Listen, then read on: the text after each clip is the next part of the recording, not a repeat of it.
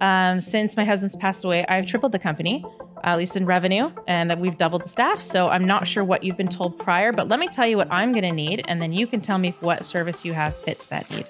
And so they're like, oh, shoot.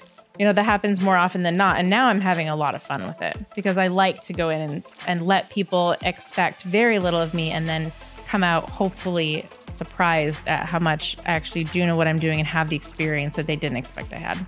Welcome to the Paid to Create podcast, where we dig into the secret strategies of successful creators making a lucrative living. So sit back, relax, and enjoy the show. I just have to tell you about Kartra, the marketing platform that has seriously transformed my business. You know how running a business can be insanely time consuming, right? Well, Kartra has been a game changer for me. It's honestly like having an entire marketing team in my pocket. And what I love most is that it automates all the tedious daily tasks for me, from marketing to sales to even customer experience. I can't believe how much time and energy I've saved since I started using it. And get this. With Kartra, I can create websites, funnels, courses, membership sites, email campaigns, calendars, surveys, you name it. It's made managing my business so much simpler and more affordable. Honestly, I can't recommend Kartra enough. If you're curious, head to paidcreatepodcast.com backslash Kartra to start your trial. Trust me, you won't regret it. Welcome, everyone, to the Paid to Create podcast. I'm AJ Roberts. Alongside me, as always, is my co host, Sarah Jenkins. And I'm actually going to turn the mic on her today and interview her as I think you guys should get to know her. She's the CEO of Genesis Digital, uh, creators of Kartra, WebinarJam, and EverWebinar, which I am lucky to be a partner in. Um, but uh, Sarah, I figured we'll dive into your story and let the listeners learn a little bit about you today. So we'll avoid all the profanity, uh, drama, murders. Great. We'll go. We'll start with that. yeah, let's keep it PG thirteen. Like we don't get banned before we get started. So, um, why don't we just go back to like obviously now virtual company employees all over the world. You know, major SaaS business, um, but you didn't start in software. Um, so why don't we go back to the beginning? Um, what was your first venture in online marketing? Oh shoot. Um, well, we learned uh, SEO and we learned about websites, pages, emails slowly. I think one of the first questions when they joined the mastermind was how do you get an email? Not just, you know, Sarah at Gmail, how do you get a professional email? Sarah at Justice Digital. Like we had no idea how to do any of those things. So we started learning about the internets and then taught fitness marketing back in the day. And then we had an online fitness product first for our followers from our blog, you know, very rudimentary, very beginning style. You do a blog, you do the content, you get the the leads, and then you sell them a product, right? Yeah. So it's interesting there because you said you started to learn what, like for me, like when I got started, like I, you know, I took a, I took a job running a health club and I was learning about sales. And then it was like, okay, what are the people who own this focused on? And they kept talking about marketing and things like that. And that's led me down my obsession with marketing. So I was like, oh, wait a minute. Like, like to sell something, you actually have to have someone in front of you. To get that person in front of you, you actually have to market. So like that was my first like, oh, it, the business is not the gym. The business is getting people to come in and sign up. The gym is the product, right? So for you, what was it that you said, oh, okay, like we've opened this business and and now we got to get customers like when did you say like oh we have to learn about SEO and blogging and all those things that were so popular you know back in the 2000s oh, well my kids call me ancient so apparently it was a really long time ago um well for when I hear you say that, that's you thinking with your entrepreneurial brain, thinking of how the business owner thinks. Most people don't think like that, but entrepreneurs do routinely. So when um, I started doing personal training, it was like you get clients by referral, just like dentists, doctors, you get clients by referral. How, tell your friends and family about me. Um, but then when the internet started happening, you know, the dot com boom and all that stuff, we started looking at, well, what's a web page? What does it mean? What if we could get clients outside of people we know? You know, we can't get a billboard, we can't get a magazine print ad. We did do the Valpak, that was pretty funny. Um, but then so we started to learn like what's what's a website? What would be an email? Like what does it mean to be online? Um, and honestly, it started with Craigslist ads. Yeah. so, so you were leveraging um, Craigslist by advertising to get clients. Yeah. If you put something for free, and well, what we did was super funny. Um, we did free models, personal training, and then when you met them, you'd say, "Can I use you as a testimonial?" And then, do you have any friends that would want personal training? Um, and back then, especially in Orange County, I mean, about 30 year old single, never married women that are looking at models with you are like, I want that trainer. And yes, we were a good trainer, but we also knew that's part of marketing. Cool. And then it just escalated from there. You just more you did, the more clients you guys got. Well, we were ahead because none of the personal trainers knew about websites either. We just started learning, okay, we can get clients on the internet with Craigslist. Okay, now we can get them on a website. We got the number one website in Orange County for personal trainers. And then we are like, well, shoot, we have too many clients to handle. We started outsourcing our clients to other trainers that we knew that were quality. Um, and then they said, well, what are you doing? How are you getting all these clients? So we're like, oh, well, let me tell you.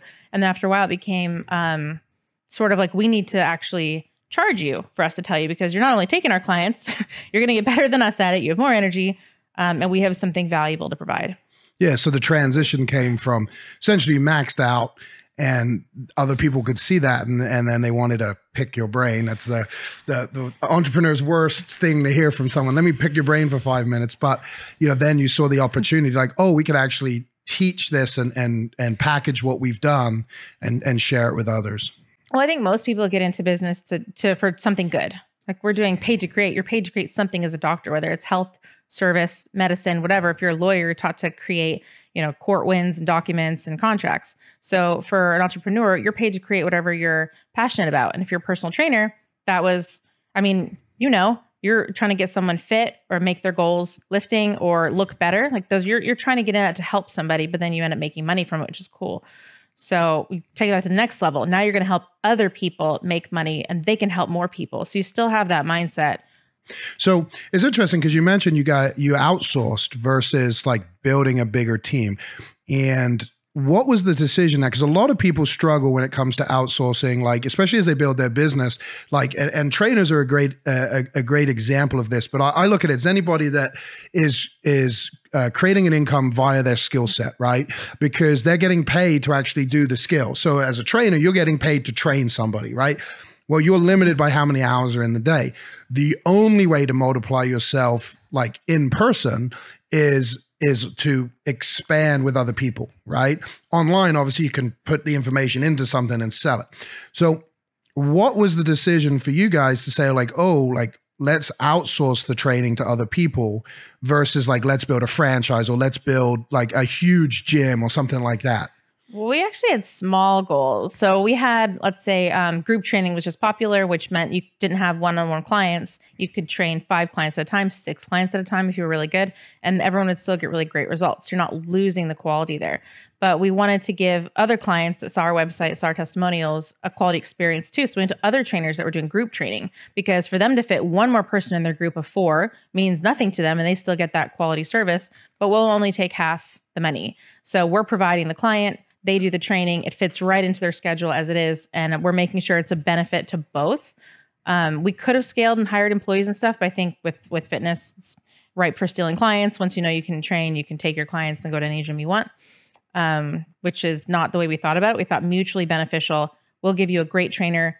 You found us through this website. We're giving the trainer a good client. We'll take the money and pay everybody. So it takes the admin hassle out of the trainer's life. Yeah, absolutely. I think I think that's something to look at too, right? Is like that and just summarizing that the headache of having to hire people versus like, hey, you're already doing this, you're very good at it. Let us slide an extra client in there. We'll give you, you know, 50% or whatever. Um, to that person, it's like, oh, it's a free person that they're now getting 50%. To you guys, 50% for doing nothing, basically. Yep. Um, what were some of the early challenges with the online stuff, with the SEO, the blogging, like all the different components that you guys suddenly were were implementing into the business? Well, we started cheap. We started um, using little babysitters we had for the girls to write articles on local stuff. Just, hey, here's write an article on Lake Forest and say Lake Forest 19 times and include a bunch of fitness stuff. And so we'd pay them to write an article while the kids were sleeping. It was this easy Google stuff before Google smacked everyone for doing that did that Google slap affect the business a lot? Like I, for, for me, and uh, I have another friend, we learned through arbitrage that you could essentially create an affiliate site using a uh, the same name as the company you were promoting with a .net or .gov extension or whatever we could get, and we could build a WordPress site. We could get it to rank, and it normally rank one or two depending on on how good the the main site was. And then of course brand search, people would search, and then they would click on our site, which had kind of some articles and, and reviews, and then they would purchase the product. So we were making a lot of money off of. We had a lot of sites in order to do it, but we were making sales every day. Google came along and just slapped that, and I lost every site that was on page one. Did you guys experience kind of a similar thing? We had that with local um, fitness for sure. SoCal Workout is not the number one fitness site anymore. It way jumped off the front page. Um, Google noticed we were doing that, and it wasn't quality articles. We were just keyword stuffing to get the ranking, which is you know the tricks of the internet. Before we learned, oh, that's not okay. Oh, here's why it's not okay. Um, you know, back then it was the Wild West. You just do what you got to do. Now it's black hat, so you can't do that. You know, or gray area marketing where it's not you know pristine and blessed by the Google. Yeah. so do you guys pivot the marketing then go white hat or did you take it di- like go a different direction? Oh, we took a huge dive dive in sales for for our fitness business, but our our online fitness marketing business was ramping. So now we're like, okay, now we have something else to teach you. Here's where Google has just punished all of us for doing all these things. We already learned, we already got hurt by it. So let's teach you how to not do that. So we actually used it to our benefit um, when the housing market crashed. Gotcha. So you that's interesting because I know in around 2008 I was involved in a, a consulting company too, and it was like that the market's crashing, but people were flocking towards us to say like, what do we do? Like, how do we do this? And so you just you guys naturally rode that wave and kind of transitioned into the the the the info coaching business when your income is not guaranteed by your boss or your clients, your clients are losing income because they're real estate guys in their 20s making baller money. Now they're not making anything um, when the internet has been smacked by Google and they said your articles are actually no good, not providing any value, um, you really start to explore your other options. Um, and that's when we did the the fitness product online. But for us, I guess we had a lot of technical troubles with that. Yeah, we get into that a little bit. Well, it's embarrassing for me to say, but one of the first conversations, like the first conversation that you and I had, was I was hooking up our our one shopping cart account with our you know what automation was and our website and stuff and you had to have the api clicks perfect you had to have the codes done it was timed and i was like this is so out of my depth. I'm good at taking clients money making sure they have great training. That's my experience. So i was like can you help me with this api thing? And i found out you're like the strongest guy in the world. I was like how do you know about api and tech? And i'm sitting here struggling and I have a fitness marketing business. It's unfair. Yeah, I mean, th- that was a weird call because it was like one little thing was wrong in the one shopping cart, right? It was going to prevent the whole launch. I couldn't find it. Um, but like, it, so it come from for me basically like when I learned marketing was was everything right? And and marketing never stops. It's bef- it's before the sale, it's during the sale, it's after the sale, especially if you're in a reoccurring business.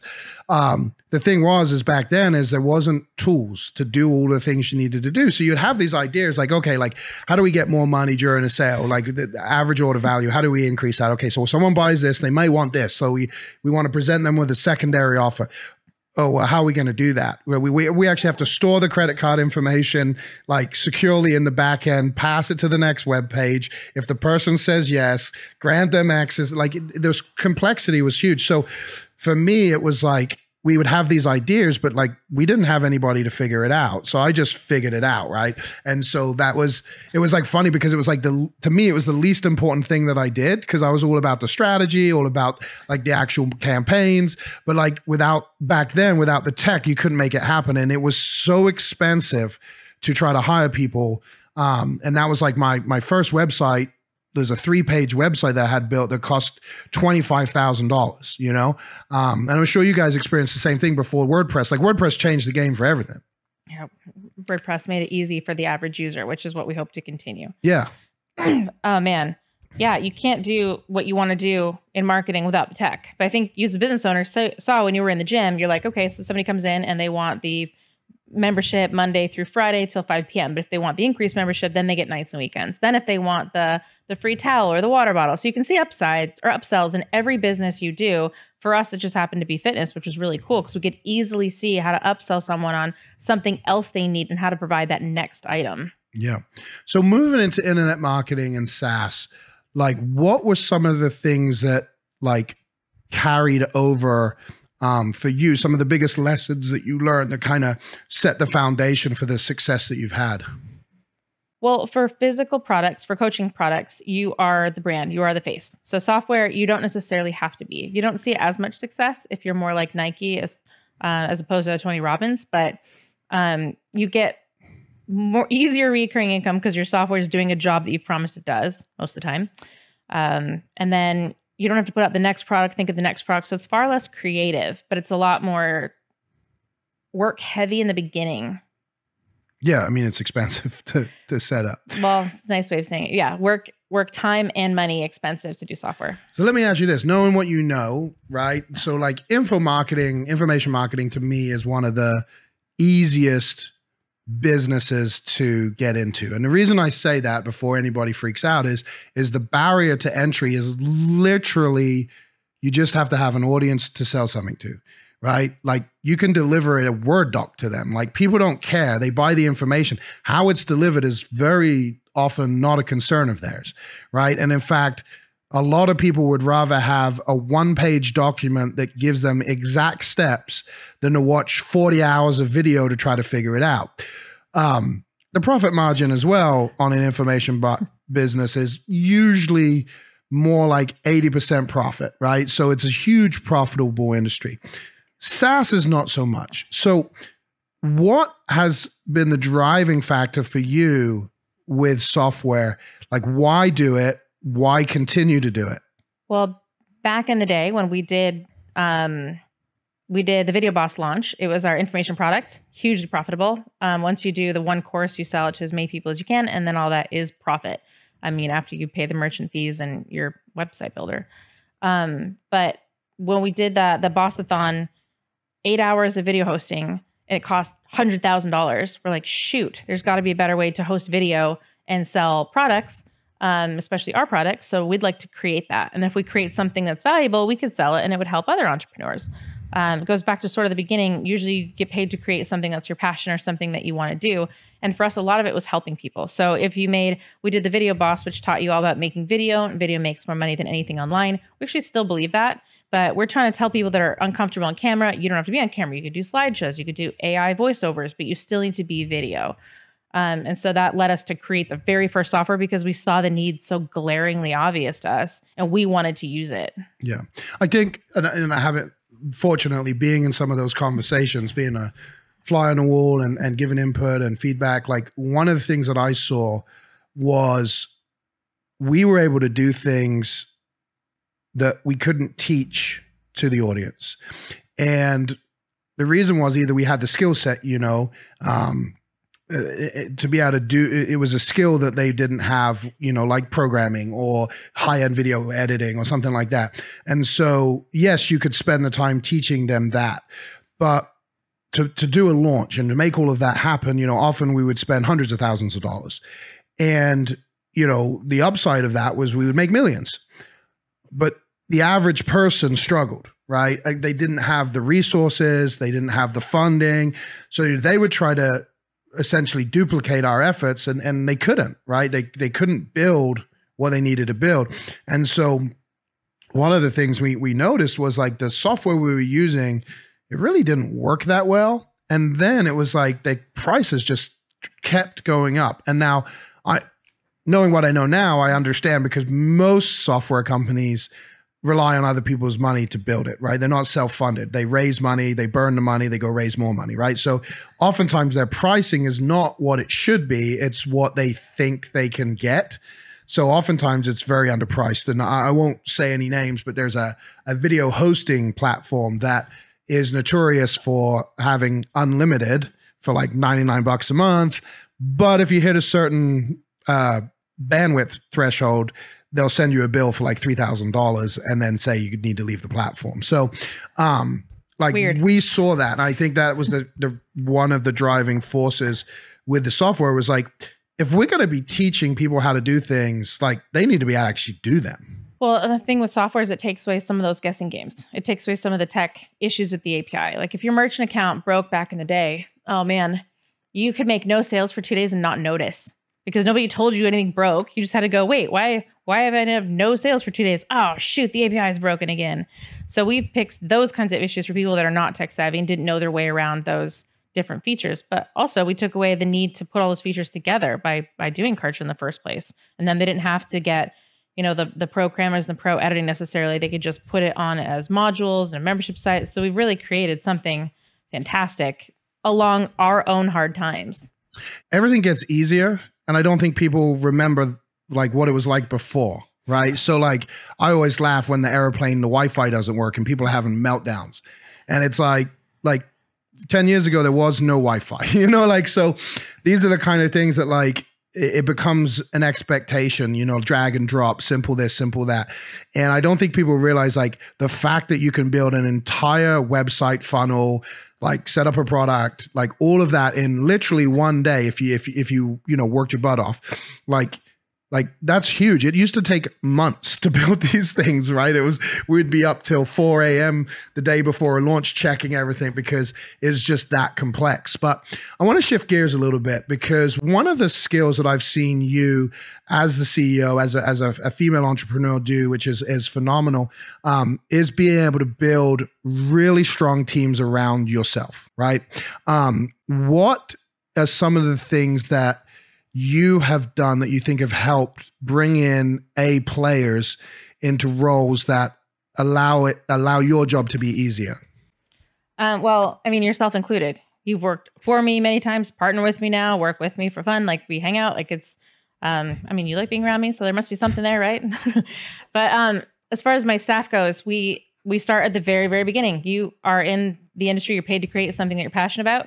So you start with fitness, it's to help somebody look better, or feel better. And if you make money in the process, great, because you have to make money to live. Um, but it's the same thing with employees. It has to be mutually beneficial. Am I paying enough that it makes sense for you? What job are you providing? Um, can I lift you up and show you that there's opportunity in my business as well as what you're doing now, but for future growth? And if I can do all those things, we'll have a very happy partnership. And so I look at all of it sort of as partnerships even um, anyone that enters a customer service ticket or enters a chat um, to service a client of mine is is just as important as I am. They're doing something in that day to bring in the revenue and help the client. The reason we built the software was to help the client. The reason we have employees is to help the families, um, to help grow revenue for the shareholders. Um, so it's it's got to be always that beneficial mindset and that mentality of lifting each other up, and you'll all grow together. Yeah, I love that. I think that that that for a lot of people that's unusual, right? Because a lot of people have the like, you're here to do a job that I pay you to do. If you don't like it, you can leave, right? Like they don't see it as a like they see it as I pay you, that's what you get from me, and I get from you your hours, right? Um, so to have that mindset of like, what how do we fit together like beyond just the transaction, right? I think is is is key. On the flip side, what are some things you've experienced that make someone not so good? Like, what are some red flags? What are things to look for for people that aren't the right fit? Because I know you've had your fair share of those, and they've been sometimes very expensive lessons.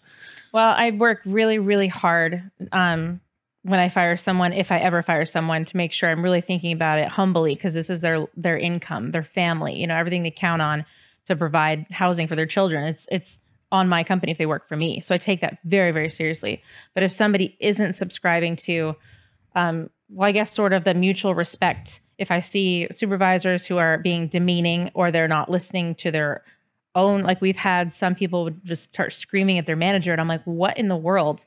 Like, in what world can you scream at somebody and make it out okay? Like, I don't know what you're thinking that you think that's an acceptable response to a hopefully productive criticism, but even a harsh criticism, be able to handle it, you know?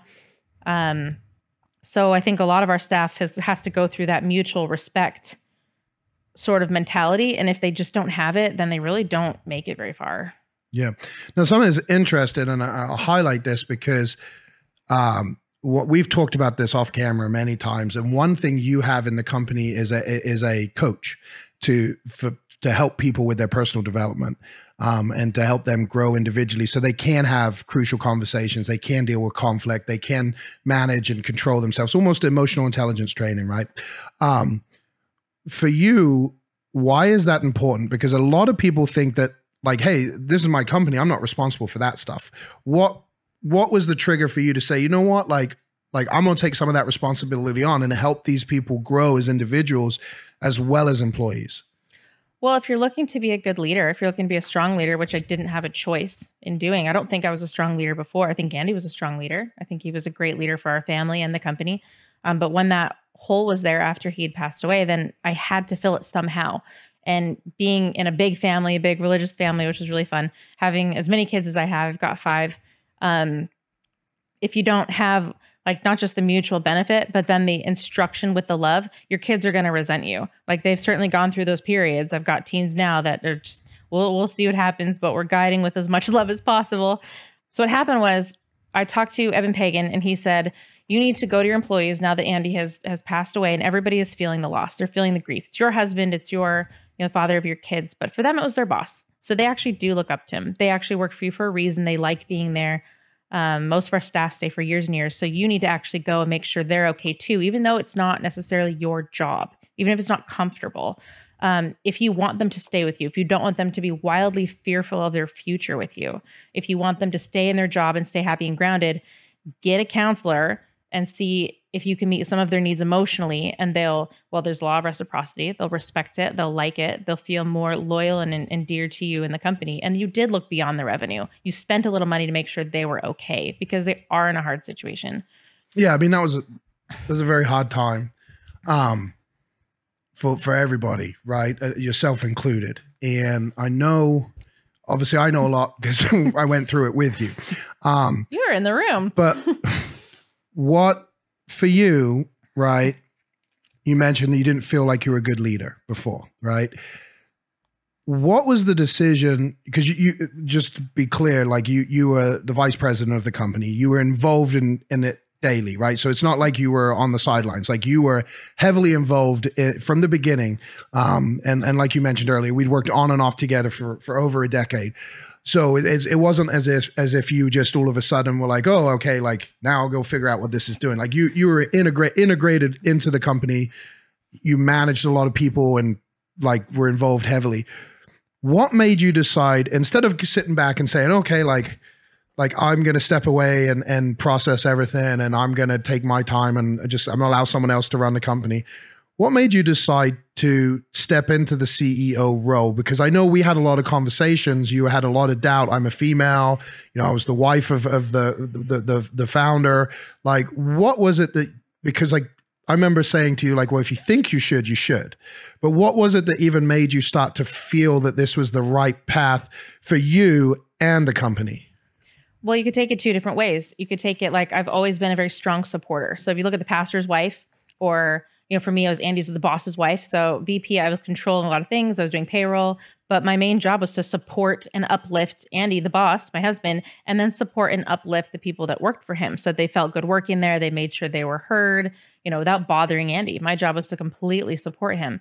So then stepping into what would what would be the leadership role, um, I looked at it the same way. My job is still to encourage and support and uplift my staff. Um, but from a revenue perspective, I could hire out the CEO business and go sit on a beach, and that probably would have been lovely for a while. Would have gotten bored, but um, also it's it's not financially worth it. So if I hire a CEO that's not me, it doesn't have the heart of the company, it doesn't have the encouragement and um, the challenge I can give my employees, then I'm paying for something that I could have done and done better. I think maybe if I'd hire a CEO, I'd have a little bit more money right now. But I think the profit margins would be lower because the turnaround would be higher. Because I do that is one thing I do do really well is I I hire good, strong people to come alongside me and build the company. It's to me there is a there is an org chart, but it is not necessarily a hierarchy. It's a partnership. We're all growing this thing together, no matter what level you're on, communication wise in the org chart.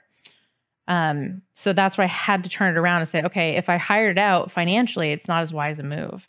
So if you look at when going back to the counseling thing, um, if my employees are are happier and more loyal and working with you know people that they know or have connected with on the internet, they're going to stay longer. It's going to save me a lot of money. Hiring is expensive. Firing is more expensive, and then replacing that person is expensive. There's the learning curve. It's a software. You know they're not loyal anymore, so they might not give me their best effort. What I have in a lot of my employees that I've certainly felt or they've told me um, is that they are happy to be there. And so happy workers give me better work. Yeah.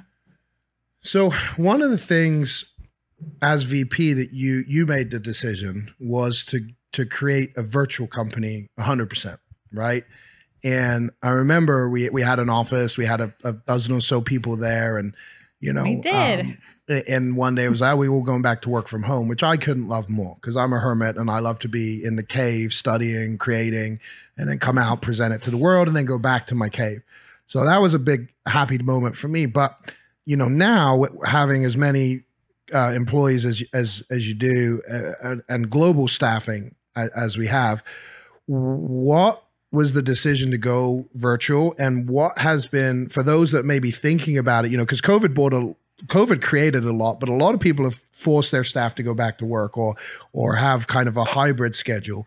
For those that like maybe thinking about it, like I think it would be good for you to share kind of, you know, your your thoughts and opinions on on the right way to do it and share your lessons learned from it. Well, I think it starts back at the original hiring. If you're hiring the quality people that can give you the work that you need, I don't need to micromanage. I don't need to see that you're at your desk at 8 a.m. and, and leaving at four or five. I don't need to see you in the office, so to speak. So, so I so you don't have spyware on their I computer. do not. No, I've I've thought about it, but it creeped me out a lot. So I was like, I don't I don't think well, I don't want that on my computer. So I have it on my kids, but it's whole. um, but no, I don't I don't like to micromanage for for the most part. If somebody's not not succeeding in their role, then I'll micromanage for a moment to see if they can they can then succeed or did they have to go somewhere else. And that's mutually beneficial too. If they're not succeeding, they're not going to be happy and fulfilled. They don't belong in that role. It's best for them not to be there. Um, but with the remote thing, yeah, I remember I came to the office and I sent everybody home. I was like, you go home, you come here. And I was not in charge at all. And Andy was like, oh, I was just, I was done with the shenanigans, the office lunches I'm always paying for. Andy's home late. I miss my husband. We have a baby. She doesn't get to see her dad all the time. Um, one of our employees snuck into the office at a pool party at night. So that's like, oh, liability. Oh, sweet pea you're such a teenager. Like, I can't have that. So, if you work from home and you want to do your laptop work on the computer at the pool, you go for it. We have a, a new employee who's worked at Google and he said, Man, the campus was really great. It was like a playground. I said, Actually, with Genesis Digital, you have that same opportunity. You can take your computer and go straight to a playground if you want. Isn't that great? And he's like, Yeah, funny. Yeah, it is nice. If you want a nap, you got your own bed. If you're hungry, you got your own food. Like you, you got exactly what you want. You know, um, you create your own environment. Um, it used to be unique selling proposition. I was like, hey, I could, I could actually. Well, this is me sort of riding trends again. Um, when I sent everybody home, I'm like, there's less insurance, there's less liability, there's no office costs, there's no home internet costs. And since then, things have changed. Now I have to provide the internet for my employees. You have to provide them a cell phone if they need to work. But those all laws came later. So I saved a ton in the beginning and if somebody was working from home, they're not buying lunches out, they're not paying for gas, they're not sitting in their commute, they have better home lives. So it was a mutually beneficial thing before COVID made it popular and I lost all my edge. So, n- knowing what you know and, and, with the the home stuff, and I think I'll, I'll just the one thing I'll add is like you mentioned earlier, the right people seem to find that you know some people need an office right some people need because like they feed like they're very extroverted if they're at home they kind of they get lost like they need to be around people you know like if they're not on conference calls because they need connection um, they don't usually do well but w- would you say there's even a need like would you ever have an office like is there a need for an office no, I don't see myself ever going to an office. If you have a need to be social, we did have one employee that was like, Hey, I'm not thriving here. I'm lonely. I'm at home all the time. I've got nowhere to go. She lived in a rural area. So she felt like her um, her work life was kind of killing her as a person, which as an extrovert, it is. So we encouraged her to go get a WeWork desk and we would happily supplement that cost. So if you are social and you still are exploring work from home, work socially. Go work at a WeWork office. Go find people to go hang around that have similar interests or can uplift you as a person and feed that energy that you need. But the work from home thing, the work wherever you want, is not going anywhere. Yeah, that's a, that's a great point. There's so many with co-working spaces there's so many opportunities to be in a in a office environment that's that's not your office, um, and it may actually be better because then you don't end up dating if you're single and you're in that environment. You don't end up dating anyone from from work. I remember when I toured Facebook, one of the things they said was like, when two people at Facebook start dating, they have to sign a contract that says if they break up, they both have to leave the department because if they're dating within the same department, they both have to leave um, to prevent any issues. So um, this is su- super interesting there. Um, looking at your role as the CEO, being a female, right? You know, we go to a lot of places and there's not many female CEOs that are uh, in comparison to males, right? Like when we go to these events, the masterminds or, or, conferences, like usually the majority of speakers, the majority of the audience are male go even further, there's very few female CEOs who have built an eight figure business, right? Um, you know, valued over nine figures, whatever you want to say. Um, what has been some of the the, the hardest things? Because obviously you knew when you took when you stepped in there was going to be challenges. You knew there would be stress that you haven't experienced before. But what are some things that you faced that that you were have been surprised by or you weren't expecting? Many things. Typically, the male is the breadwinner still. I mean, in America, statistically, that's just the way it is. And then men have been in the workforce longer, so more of them are men. So, you know, when the CEOs are in their 50s and 60s, because they've been in the workforce a lot longer. And 40 years ago, their wives were at home having their kids, which is totally great. Nothing, nothing wrong with that at all. But it's now it's it's changing a little bit. So it's more equal. So women are like, oh, yeah, I can have a kid and then go back to work. So that's sort of a new thing in the last, you know, 50 years, which is great. But that's why we don't see many people in the boardroom masterminds. And it's a little disappointing because I'm always trying to look for myself when I'm in the mastermind. So if I have a question, um, you know, and I'm in a room of, you know, 70 men and 20 women, I'll sort of gravitate towards the women and say, well, what do you do with your business? And and a lot of times they're not the ones on stage. They're not the ones that are leading some of the conversations, which is disappointing. Uh, as far as things that surprise me, um, I don't know. Challenges like being a female in the CEO role. What are challenges you've had to, like, you know, really fight? I, I, I kind of, I'm lead. I'm trying to lead you here because I, I, I, you already know. yeah, yeah. I just mean like, like you, you know you, me really well. You've, you've mentioned fair. before, like certain conversations you've had with people that that underestimating you, the the acting like, oh, it's just you, are just a woman, or oh, it's just you know Andy's wife. Like I know those two combined have been been you faced that many times in many conversations, not just with one person. It's it's been a, a reoccurring conversation you and I have had about that. Well, it's it's it used to frustrate me a lot, and now it's one of my favorite things. It's um actually become something I have a lot of fun. I have a shirt. This is underestimate me. That'll be fun. Um, but I I do understand that Andy was the leader and he certainly set me up for some giant success. When we got married, he didn't marry me because he had all the money. I had my own million dollar business. He married me because he thought we would be a power couple. We could really support each other and combine our collective strengths, me and admin and and happiness and accounting and his and, and leadership and creativity. So um, when I go into these meetings after being, you know, Andy's wife, I've had man, so many where it's it's me in a room of like nine gentlemen in their 50s and I'm like 32 I'm like hey. And so they'll start telling me like oh okay so so you're you're taking over this business and here's how we're going to help you learn how business works and and help you know how to grow. And I was like okay um great. I think you've been misled. Um since my husband's passed away I've tripled the company at least in revenue, and that we've doubled the staff. So I'm not sure what you've been told prior, but let me tell you what I'm going to need, and then you can tell me what service you have fits that need. And so they're like, oh, shoot.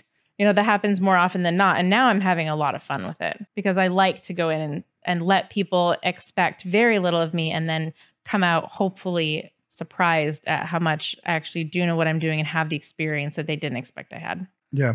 So I think it's important for like, especially for like hopefully the men listening start to go okay maybe i shouldn't underestimate anybody that's in front of me right? Um but for for the for the women listening like what is some advice you have for them? Because i'm j- juggling five kids right? Like you mentioned earlier you have a you have a large family. Like you are a mom you're a ceo you're a mom to all the employees technically too like the way you look at it like you you take that responsibility on like what are some things that you would say to a female who who's maybe like starting or struggling in her role you know just to continue to persevere to continue to keep going well, the mom guilt is huge. We have that everywhere. I even had one of my nannies say, I don't really want to work here anymore because even though my son is here at the house every day with the kids and goes to the same school as the kids, like I only see him for two or three hours giving him personal attention. I don't feel good about it. I was like, well, then we have to change your schedule because I can't have that you know, I don't want another mom working for me that doesn't feel good about it. But she didn't also give herself the balance she needed. So she didn't say, okay, well, my son's at school. I can get stuff done for Sarah. And then when my son's out of school, then take those hours. Like she couldn't find the solution to her own problem. Um, I helped provide that for her, but that's another story. So I think a lot of moms come in and they say, oh, shoot, I've got this baby. I've got to do lunches in schools and then homework.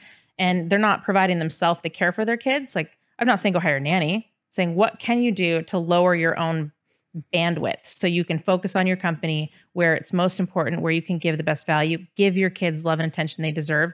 You have to be very compartmentalized and very organized in where you're going to put your space and your energy, including for yourself. Like there's not a week go by I don't I don't get my nails done. Yeah. Uh, let's get let's talk a little bit about that creating bandwidth, like because I think that that it, it kind of goes back to the originally the outsourced idea you had, which was like, oh, I don't want to create more work for myself, but we we don't want to lose out on this revenue, so let's create a good partnership. How is that transferred into your home life? Because like you didn't always have nannies, you didn't like you have a lot of people in your life that allow you to uh, focus on what's important and and when you have time spend quality time with people so like what are some things you do to make sure that you have quote unquote balance even though true but you know we know it's not an even scale but balance and sanity balance enough that i can get behind it so if i'm you know asking myself giving myself those pause moments where i say okay this week am I giving my kids the attention they deserve? In what ways could I show it to them? So Thursday, I'm going to make dinner with the kids. You know, Saturdays, we're going to have a video game day on the couch. So I'm purposefully putting that into my calendar of this is the times where I'm going to be fulfilled as a mom and they're going to get the time from me that I think they need. Some weeks they need more than I was able to give. And some weeks they needed less and I was sitting around waiting for them to play with me. Um, usually that's not the case. Usually we're all very busy. But the same thing with your company. If so I've got uh, a book coming out in I think June, and I was just talking to a PR person. She said, "Well, we can get you onto you know TV shows and, and morning shows and, and and articles and stuff, but we need you to write a bunch of articles." I said, "Well, that's a non-starter. I'm not going to spend more of my time not talking to my employees I have now, my kids I have now, giving my husband the attention he deserves now. That's just not going to fit. I'm never going to sit down and write an article at this stage of my life. Maybe." if I'm CEOing less or my kids are a little older, then I'll spend a little bit more time writing. But the balance thing, you've got to give yourself some breaks, man, some credit. Yeah, I think um, one of the things I learned early was I call it like outsourcing the $20 an hour tasks, right? Like once you know what you can make per hour, right? And and and it's not what you think you can make, it's what you actually make. So what did you make last year? Divide that by how many days a week you work, divide that by, you know, the the hours that you work, you know, if you work 40 hours a week like what's that number right and if it's a hundred dollars an hour or even fifty dollars an hour like you shouldn't do anything that you can pay someone less than that to do for you and it's a very difficult concept to understand because you think to yourself like well i'm not going to pay someone to to you know cook my food for example like oh, i'm not going to use a meal service. But you could. But but like if you prep your food it takes two to three hours right? So if you get paid 50 bucks an hour, that's 150 bucks. You can buy your entire food for the week for less than 150 bucks. The key is you have to know how to leverage those three hours that you just bought yourself, right? Because essentially you buy back your own time. And the mistake people make is they buy it back and then they don't do anything with it. So the guilt sets in, right? Like, oh, I'm just sitting on the couch not doing anything. So why should I, like, I should just do that myself. You have to know if you, like, you have to learn that you buy back time to then use that time either – for the business or for yourself or for your family, right? You have, and I think like one of the things I've noticed with you, and correct me if I'm wrong, but like you pretty much live and die by your schedule now. Um, you know, you always say if it's on my calendar, it'll get done. Um, you know, has, has that been a, a big thing for you to like, you know, get organized like that? Because as a creative, right? Like I kind of like like controlled chaos, I say, you know? And sometimes, like when my calendar's full, it almost gives me anxiety. Like, so is that something you've learned to love? No. So we had, um, we started with an in home personal assistant. And so the personal assistant would come in and do payroll and then do the dishes and then take out the trash and leave by noon. So we had a bunch of things done in the house that we weren't doing anymore. But back then it was much, much cheaper. Um, but we paid for those services for the hour and they did whatever we needed them to do. So we slowly figured out what we didn't need to do. You know, when we were on a stage at that uh, commitment summit, I said, Why are you doing things on Sunday that take away from your business or your children? Why are you folding your own laundry? Good Lord, I think there's a service, unless you're in the super rural areas, that's pretty affordable to get it done. Even right. an in home personal assistant that will come and pick up your kids' toys for you, fold your laundry, load your dishwasher, and leave. How much could that possibly cost? And how many hours of frustration will that buy you? um, some one mom I was talking to doesn't homeschool anymore because she said, "Listen, I'd rather be a good mom. I'm not a good teacher, and now I'm being, not being a good teacher, and I'm not being a good mom." I'm like, "Oh, well, that's she knows where she needs to put her time and her her limits." So you kind of, I think you grow into it. You have to. Yeah, yeah. I, I think it's one of the things. Um, I was guilty of was having a partner at home and expecting them to want to do all those things, right? Like, well, you're at home, so like, why don't you do the dishes and the laundry and and then you realize that like they don't want to do that either, right? So That's so weird. you know, Who doesn't and- want to do the dishes? and when they don't do it, they have a lot more time for you, and and so that that's kind of a you know like one of the things I learned. That's so I, I didn't necessarily do it to buy back my time. I bought I did it to like free up time so that I could spend with my partner, right? Increase um, happiness. yeah, let's talk about your book a little bit because um, what first of all, what's the title of it? Working title is Alpha Female Leadership. Cool. and what made you decide to to write a book? officially book lends credibility to you um i like books i love movies but i don't learn or remember a lot about movies i just enjoy that time watching them but books i really gravitate towards maybe it's my learning style and i remember parts of different books that really have changed the way i've been thinking about things and i don't see a lot of um women in roles that are I won't even say comforting, but enthusiastically challenging. So when I'm looking at other women CEOs, and I don't know very many, and I'd like to know more, but there aren't as many, and they're harder to get a hold of. And a lot of times on a big stage, they come across very, very fake and very, I'm just a millionaire and it's great. And I'm like, well, I'd like to know how you got there though. Like, I want to know more of when you're speaking, what I can take home to change my own life or my own business. And I just don't see that very often. I'd love to see that more often. So I'm doing the book so that other women can feel like they can step up and start being that leader for whoever's in their tribe or whatever you want to call it. Um, I, alpha has got a negative connotation to it, but for me, it's not. It's it's that that almost mothering guidance of here's where we're gonna all go find the food. Here's where we're all gonna be protected. Everyone will be great over here. Trust me. And then when they get there, everyone's happy, um, including lifting up other females into being a leader in their own industries. What do you think? For you, what does it mean to be a leader?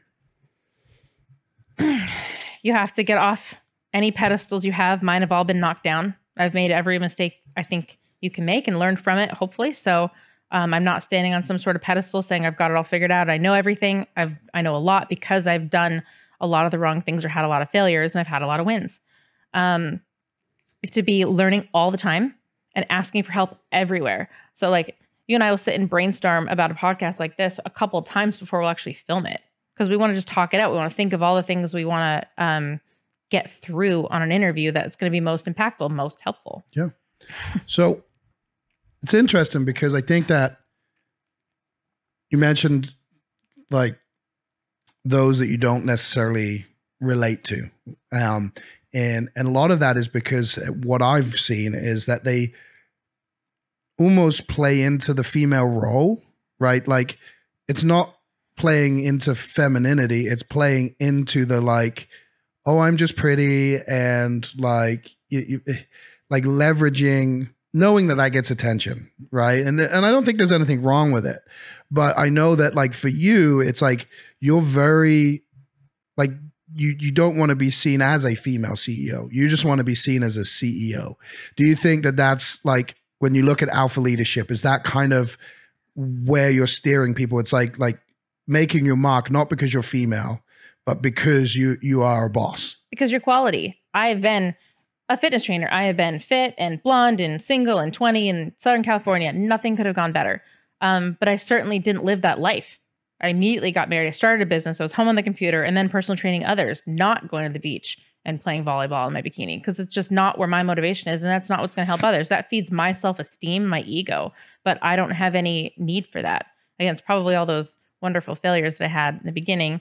But it taught me that that is so shallow and unimportant that that can be somebody's marketing shtick and that might work for them, but that's never going to work for me. Um, I do not want to be a company of software because I'm a female. I want to be a company of software because it's a quality software and it gives good value. It'll help somebody.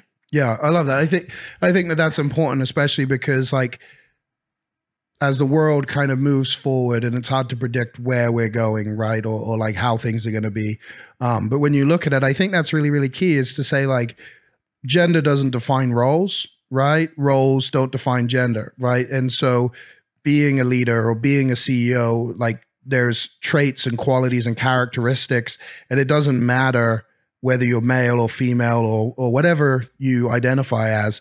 What matters is is that you execute in certain ways in order to essentially get things done right? Because that's how you build anything. Like that's how you build a good life. That's how you build a big business. It's by actually having the idea like and then actually taking that and creating something with it it's it's the execution of the idea that matters. And to be able to do that individually and then at scale with a team like it takes someone who has a level of confidence and a, and a level of clarity um, that that again it doesn't matter whether you're male or female. What matters is is that you have a, a sense of direction and purpose and and people can essentially get on that train right? I mean, same thing if you're a mom at home and you're having that drive to get your house in order, get your kids in school, you've got your dinner prepared for your husband. There's absolutely nothing wrong with that either. That's great. But you do that same thing. You're doing it with a drive and a purpose. You're doing it with quality and character to improve whatever situation you're in, whether it's a CEO, a mom, or a farmer. Your whole drive and job is to do things with integrity and quality, or it should be. absolutely anything else you want to share today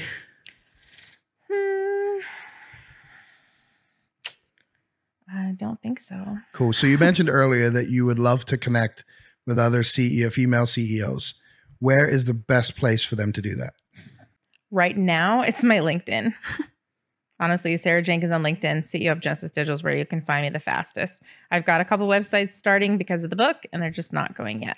They're not up. We'll put the links below when they are up, and you guys can check that out. Uh, that's all for today. Thanks for joining us. We'll see you next time. I just have to tell you about Kartra, the marketing platform that has seriously transformed my business.